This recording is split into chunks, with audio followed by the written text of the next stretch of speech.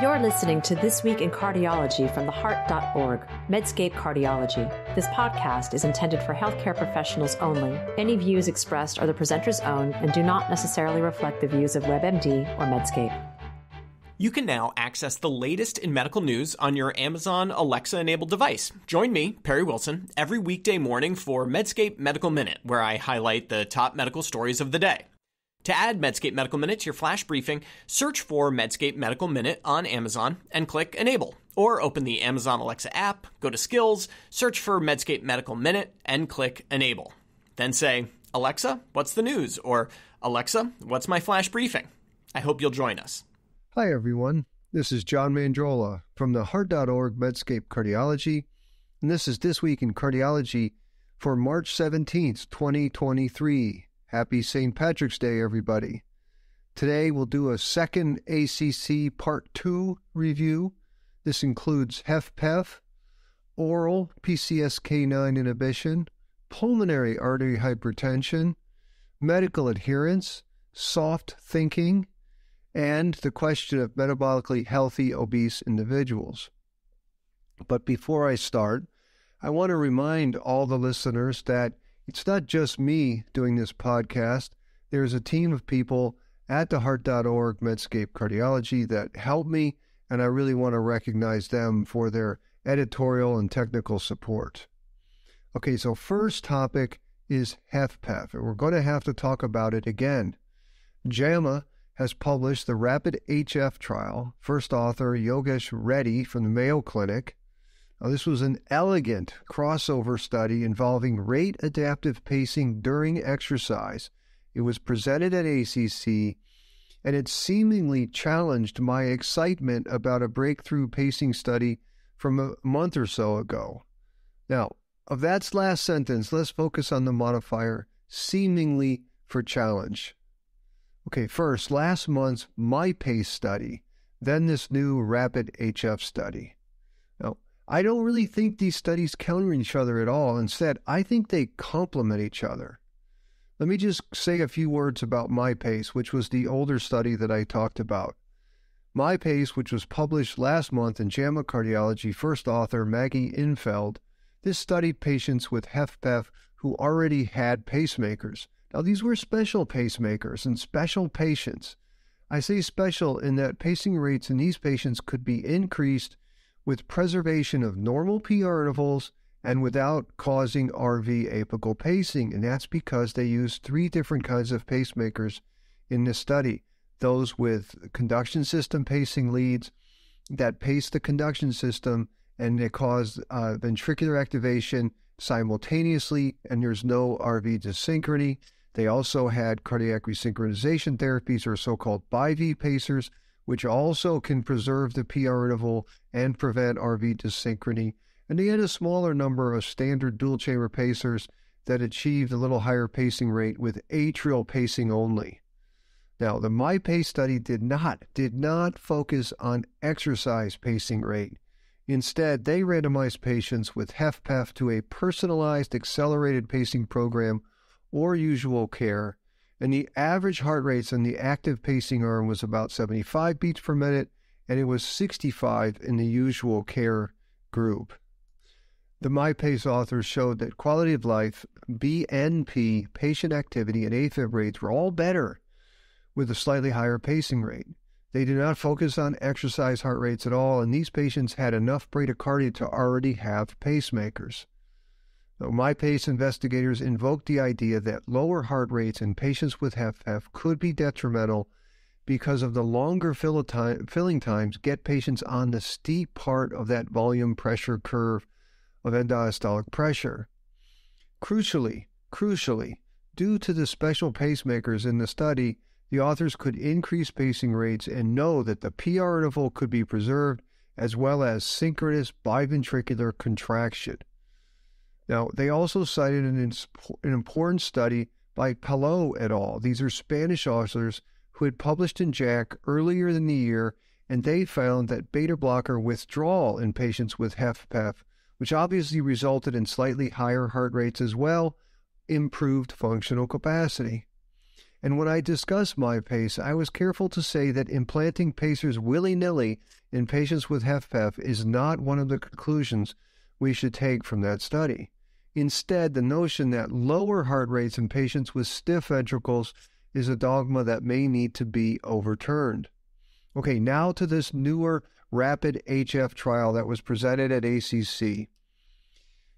At Mayo Clinic, Reddy and colleagues recruited patients with HFpEF who met the criteria for chronotropic incompetence. They defined chronotropic incompetence, but I will tell you from my experience, this chronotropic incompetence business is not easy to sort out in real life. Basically, it is as it sounds. Chronotropic incompetence is the inability to raise one's heart rate to what it should be during exercise. And the problem here is that heart rate increases are extremely highly variable, and it's also really hard to know what heart rate should be. The study included 32 patients who had pacers implanted.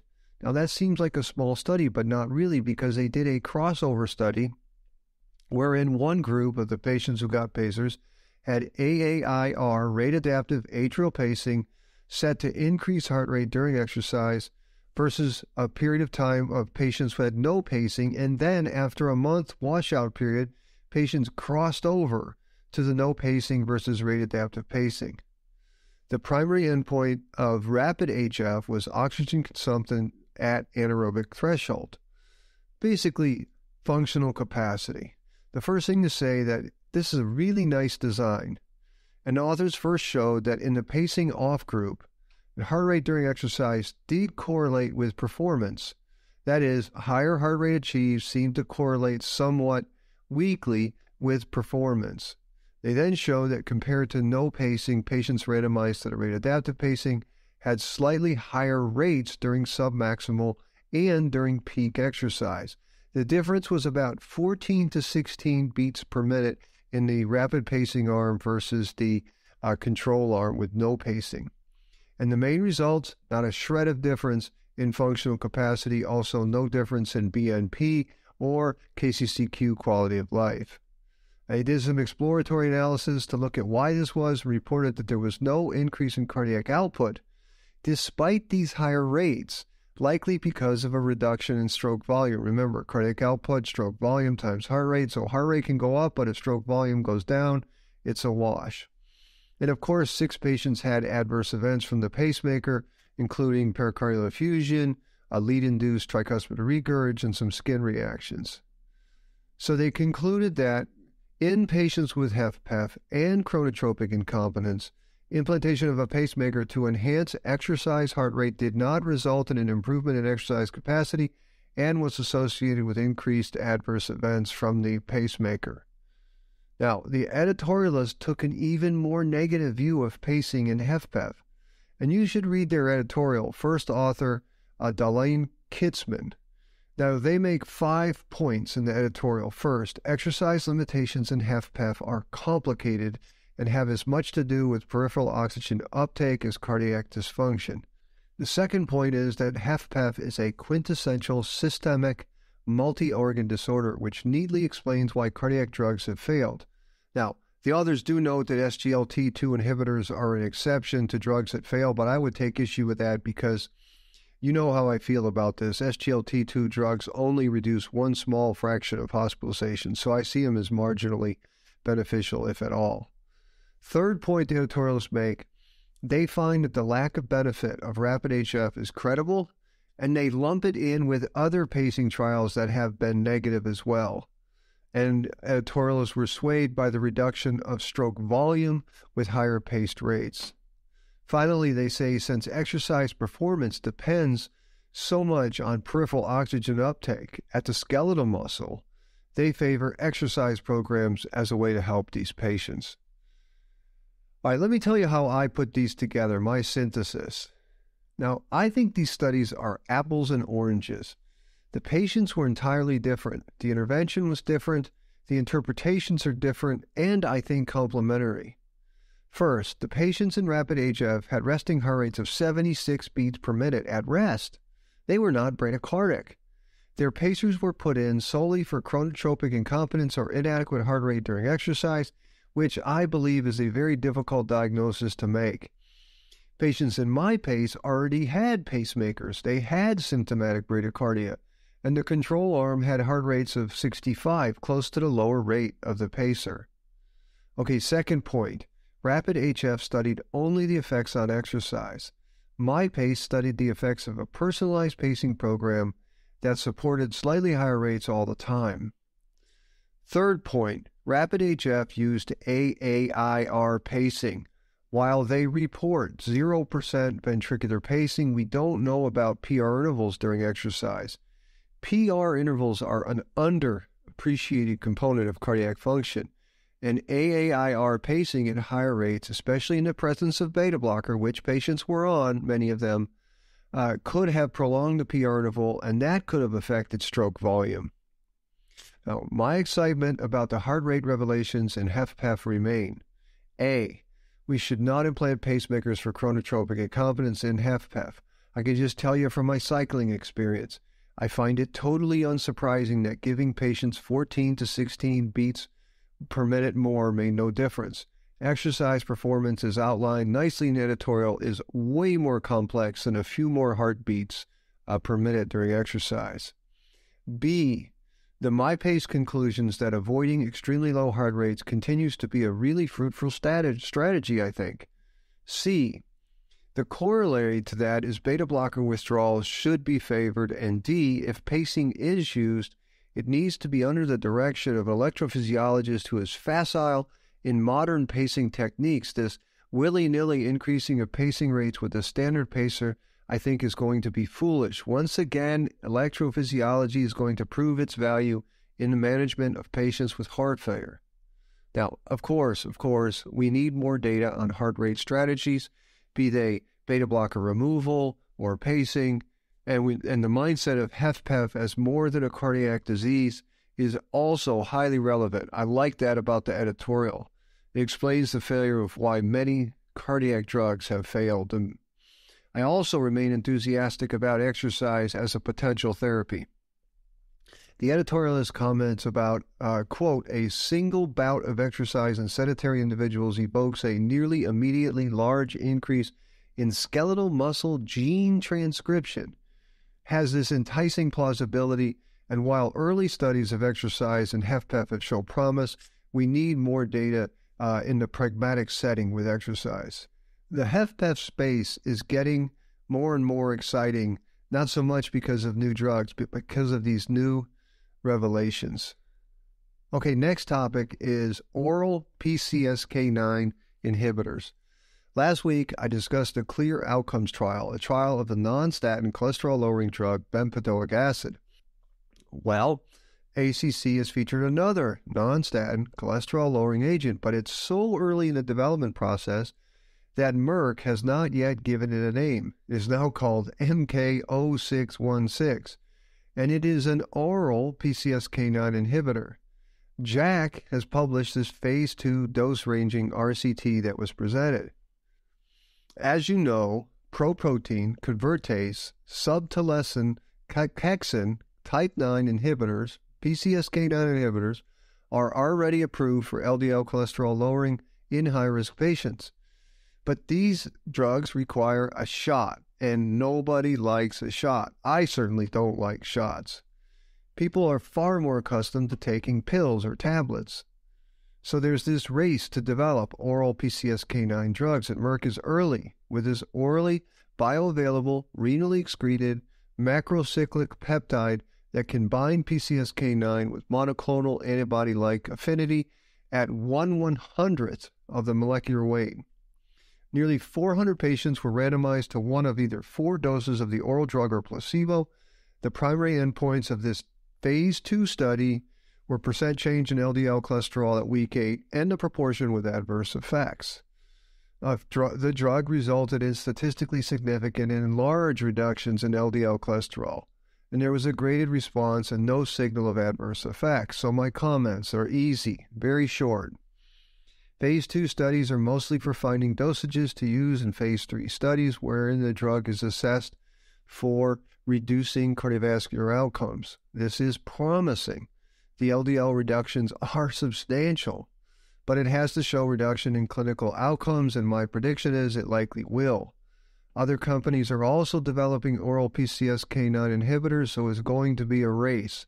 Merck obviously is off to a good start. The next topic today is pulmonary arterial hypertension. No, I don't treat many patients with PAH. Maybe you do, but even if you don't, ACC brought pretty amazing news about a new drug called sotatercept. Sotatercept, I think I'm saying it right. I cover this story because it's a potentially major breakthrough in an uncommon but tragic disease.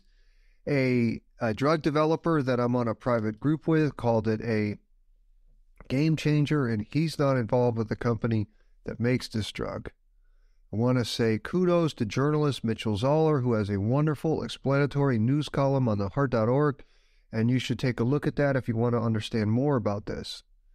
Uh, first, a few words about PAH. This is a disease that involves proliferative remodeling of the small pulmonary arteries that leads to then progressive narrowing of these arteries, and then, of course, results in right heart failure.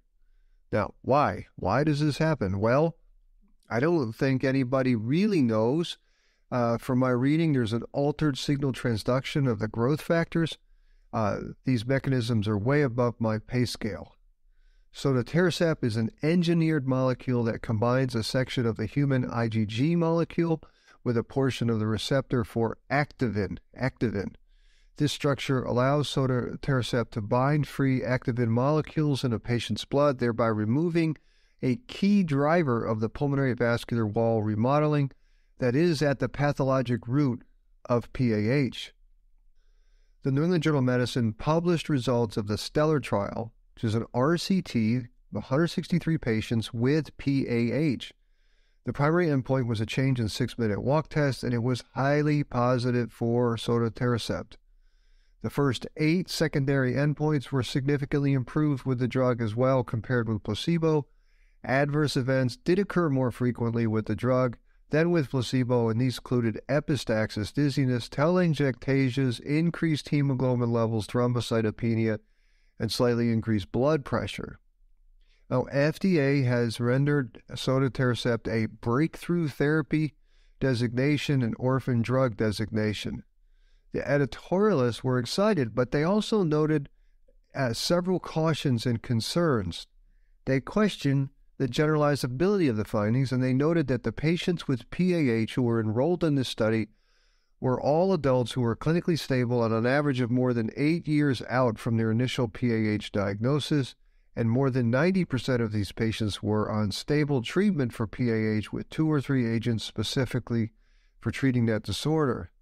The study cohort also had a disproportionately high enrollment of patients with idiopathic or heritable forms of PAH, and the 15% of patients in the trial with connective tissue disease represented a disproportionately low prevalence of the PAA subtype. So, again, getting into the external validity of trials. I mentioned this story in much the same vein as the oral PCSK9 inhibitor study. It's early, yes, and surely the sotatercept drug will be incredibly costly, but for the three and four in 100,000 patients with this terrible condition, PAH, there may be a disease modifying option, emphasis on maybe. Now, I am told by people in the know in the drug, drug development space that sotatercept is the first way, that there will be more therapies targeting the same pathway. Of course, the other reason to mention this in the oral PCSK9 inhibitor study is to reemphasize that you can take a medically conservative approach to new therapies and still be in awe of biology, as well as the incentives inherent in a profit driven development system. I am not sure breakthrough drugs like this get developed without incentives. So, there, I am not a nihilist. All right, next topic is a really, really important trial called Access Trial. This has to do with free medicines and cardiovascular outcomes. A research team in the province of Alberta, Canada, Calgary, and Edmonton have published a very important paper about medical adherence to cardiovascular medicines. It's important because it reminds us to avoid soft thinking. Now, soft thinking is such a problem in medicine today. We underestimate complexity far too often. consider, for example, the idea of not thinking about the negative externalities of the punitive hospital readmissions reduction program. That's a shining example of soft thinking. These Canadian researchers tested the idea that eliminating copayments for high value medications among low income older adults who were at high cardiovascular risk would improve their clinical outcomes. Let's go slow here. Oh, discussions about disparities in outcomes among low and high socioeconomic patients is a very frequent conversation that's had. High costs are seen as causal, right? Low income adults would be most at risk for poor outcomes because they're not taking their statins or other preventive medicines. Heck, higher use of preventive medicines was held up as causal in the 40% reduction in cardiovascular deaths and MI in the SCOT-HEART trial, wherein patients had uh, in the CTA arm had higher use of these meds. So, gosh, if it's going to cause a 40% reduction in SCOT-HEART, these medicines must be amazing and we must get patients on them. So, the ACCESS trial was actually a two by two factorial trial testing both the waiving of copayments of high value meds and a self management education and support program. But this paper the one presented at ACC and published in circulation considered only the free medicines part. Their primary outcome is notable. It was not use of medicines, it was actual outcomes. A composite of death, MI, stroke, coronary vascularization, and cardiovascular related hospitalization over three years. And I want to emphasize how important and notable that choice was. Many similar implementation science papers measure medicine adherence as an outcome. That, in my opinion, is a weak surrogate. If you think your policy or nudge is going to help patients, have the gumption to measure outcomes. Good on the researchers. ACCESS enrolled nearly 5,000 patients, followed them for three years. The rate of the primary outcome was not was not reduced in the group that had no co- copayments. 521 versus 533 events, not statistically significant. None of the components of the primary endpoint had statistically significant differences, nor did changes in quality of life or healthcare cost. In statin adherence, hardly budged. It was like 0.72 versus 0.68, and there was no difference in ACE ARB adherence. The author's conclusions quote, in low income adults at high cardiovascular risk, eliminating copayments, averages of $35 a month, did not improve clinical outcomes or reduced healthcare costs, despite a very modest improvement in adherence to medications. Okay, my comments. These are remarkable findings that align well with ideas I've expressed often on this podcast. First, let's talk about the patients. These were older patients, mean incomes were low, no one was over $50,000 per year, which is about 38,000 in US dollars. Most were even lower income. So, I would say that even a minimal copay would be something. More than half of these patients had diabetes and established coronary disease. More than 80% had high blood pressure and high cholesterol. Now, I have long said that more health care often does not lead to more health. And I cite the insurance studies. RAND, the Oregon Health Insurance Experiment, and the Karnataka India experiment, which all found that giving more preventive care did not significantly improve outcomes. And you have the recent JAMA paper showing that states that expanded Medicaid did not lead to better cardiovascular care. Then there was the MI free trial in the New England Journal of Medicine. Free meds after MI, no difference in outcome. And you have Artemis trial in JAMA. Vouchers for clopidogrel led to no difference in one year MACE after PCI. ACCESS was free, high value meds in low income patients, a group most likely to benefit, and again, no difference. Why? Why is this? Well, here's my idea there's too much soft thinking in cardiology. In journals and meetings and Twitter, all full up of association studies showing that patients who adhere to more guideline directed medical therapy do better. Low income people do worse because they don't adhere to medicines as well, goes the thinking. The problem is that prevention is far more complex than simply adhering to guidelines. Why have so few people thought to say that the mere ability to adhere to four heart failure medicines may be a marker for a healthier patient, and it is those factors that lead to better outcomes.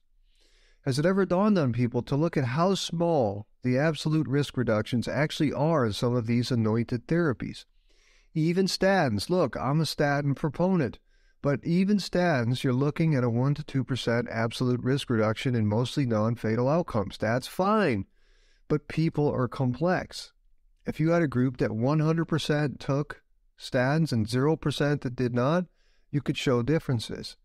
But in the real world, where people have stressful lives, they're taking care of children, grandchildren, sick elders, difficult marriages, or difficult jobs, the idea of taking a, medicine for a 1 to 2% absolute risk reduction of a non fatal event over the next decade probably doesn't rate very high in their priority.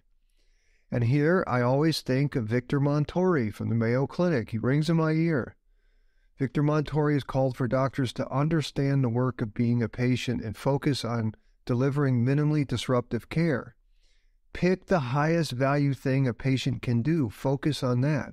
I mean, for instance, dinking around with a systolic blood pressure of 145 might pale in comparison to helping a patient eat less salty snacks or helping her carve out 15 minutes per day for a walk. Finally, and I'm sorry if this is disruptive, but I have to say it, so much of health is out of our, the clinician's hands. And I know that may sound weird, but our preventive pills pale in comparison to luck.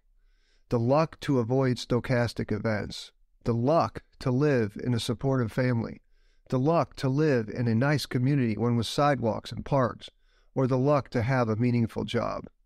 My point here is not nihilism. We can do a lot of good for people with preventive care, not just with pills, but education about exercise and diet and listening and empathy. But we should also avoid the soft thinking that preventive tablets are the main factors on the causal pathway to good health.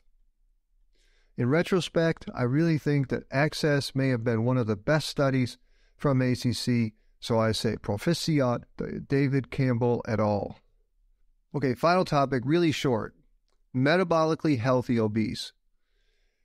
JAMA Network Open has published a survey of NHANES data from 1999 to 2018 looking at the prevalence of metabolically healthy obese patients.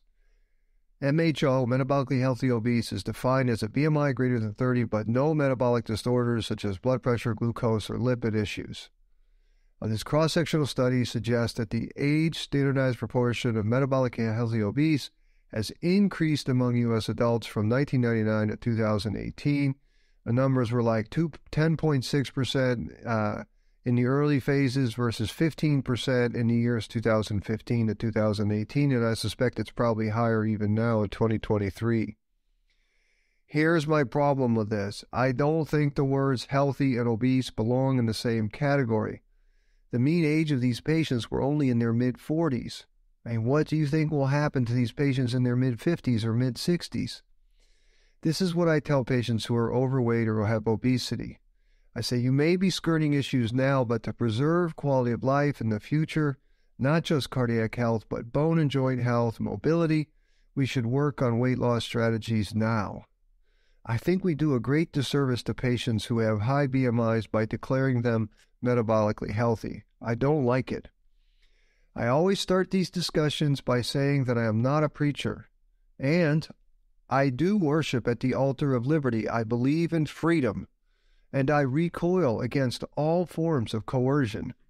But as a health advisor, I would encourage patients to consider weight loss strategies because, regardless of good laboratory studies, having a BMI above 30 puts you at risk for future problems.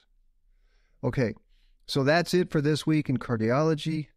As always, I'm grateful that you listened. And remember, friends, if you like this podcast, please take the time to give us a rating Write us a one or two sentence review.